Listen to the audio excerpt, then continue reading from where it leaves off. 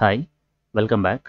In the previous video, I have discussed how genetic algorithm works with a simple example. In this video, I will discuss different crossover operators in genetic algorithm with simple examples. Basically, the crossover operators in genetic algorithms were divided into three groups. First one is binary coded crossover operators. Second one is real coded crossover operators. And third one is order coded crossover operators. Each of these particular methods will be discussed in detail one by one. The first crossover operator is single point crossover operator. In this case, uh, first we need to select uh, two parents chromosomes uh, for mating. This can be done with the help of uh, fitness uh, function. First, we need to apply the fitness function for the given uh, set of initial population. Based on the fitness function, we will get the fitness score and using that particular fitness score, we will select two parents for mating. In this case, I have selected the P1 and P2 as the two chromosomes for mating. Once uh, two chromosomes are selected, next uh, we need to select one point for uh, a crossover at random. So in this case, I have selected the crossover point at uh, 2 here. So this is selected randomly. You can select 3, 4 or whatever it may be. Once you select this uh, crossover operator, the next step is to swap the bits at the right of this particular uh, crossover point. So in this case, uh, the right of this particular crossover point, we have four genes. So we need to swap this particular uh, bits or the genes here. So once you swap this particular thing, you will get the new offspring that is O1 and O2 over here. So in this case, you can notice right side of this particular crossover point uh, in the first uh, parent we have 1010 that is a part of offspring 2 here and 0100 is a uh, part of uh, parent 2 that is a part of uh, O1 in this particular case. This is how the single point crossover operator works in uh, genetic algorithm. Coming back to the second uh, crossover operator that is a two point crossover. In this case again we need to select uh, two parents. I have selected P1 and P2 here. Next we need to select two crossover points in this case. So in the previous case we have selected one crossover point. In this case we have to select two crossover points randomly. So once you select two crossover point, we need to swap the bits between these two crossover points. So in this case I have selected crossover point at 2 and 4. So between these uh, 2 and 4 we have 2 bits. We need to swap those particular bits. So once you swap this particular 2 bits we will get a new offspring here that is O1 and O2 in this case. The third uh, crossover operator is multi-point crossover. As said earlier, we need to select two parents, P1 and P2 were selected here. Once you select two parents, uh, next we need to select more than two crossover points here. So in this case, I have selected crossover point at 1, 2 and then 4 here. So once you select uh, more than two crossover points, we need to swap the bits at alternate sides. That means first we need to start with the first site here. That is in this before uh, the crossover point 1, we have one site these particular bits need to be swapped here. So uh, we need to swap these particular bits. After this so we should not swap this one. After this we have one more site here. We need to swap it and we need not swap this particular last bits here. So once you swap these particular bits or the genes we will get a new offspring here. That is uh, written with the help of o1 and o2 over here. Coming back to the next uh, crossover operator that is known as uniform crossover. Again we need to select two parents. I have selected two parents p1 and p2 in this case Next, uh, we need to select uh, the crossover point. In this case, uh, we need to select the crossover point based on the tossing of a coin. So once you toss a coin, there are two possibilities. Either you will get head or you will get tail. Whenever you get head, that will be marked as 1. Whenever you get tail, that will be marked as 0 here. So for each gene in a pair, uh, parents, we need to toss this particular coin. So in the first case, we have tossed the coin. We have marked that particular outcome here in this case, the outcome is marked as 1. The meaning is we got head here. Similarly, for the second gene, we have marked it as 0, third one is 0, fourth one is 1, fifth one is 1 and sixth one is 0 here. Now, once you get this particular crossover uh, positions, next what we need to do is uh, we need to swap the bits. Now, how to swap the bits is uh, wherever you have marked the 1 for these particular genes, we need to swap those particular uh, genes over here. So in this particular case, the first uh, gene is marked as 1 here. So this 0 and this 1 will be swapped here. And then uh, we have 1 1 over here. These two things that is 0 1 and this 1 0 will be swapped here. Once you swap this particular thing, we will get a new offspring here that is O1 and O2.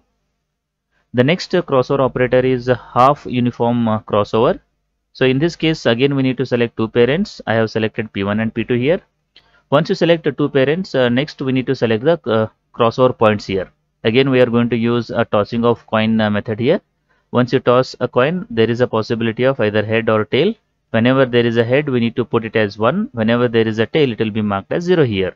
But in this case, we should not do it for all the genes in the parents. What we need to do over here is, uh, we need to check the corresponding bits in P1 and P2. If those particular bits are not same, in this case, you can see here the first bit. The first bit is uh, 0 in parent 1, 1 in parent 2. They are not matching. So the meaning of this one is we need to toss the coin here.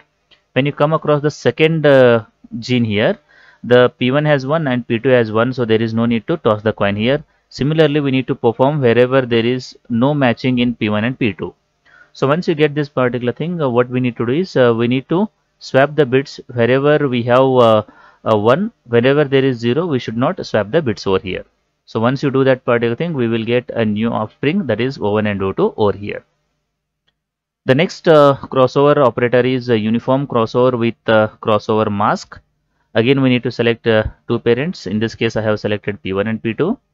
In this case, uh, for each of these particular bits in the parents, uh, we need to write the crossover mask here.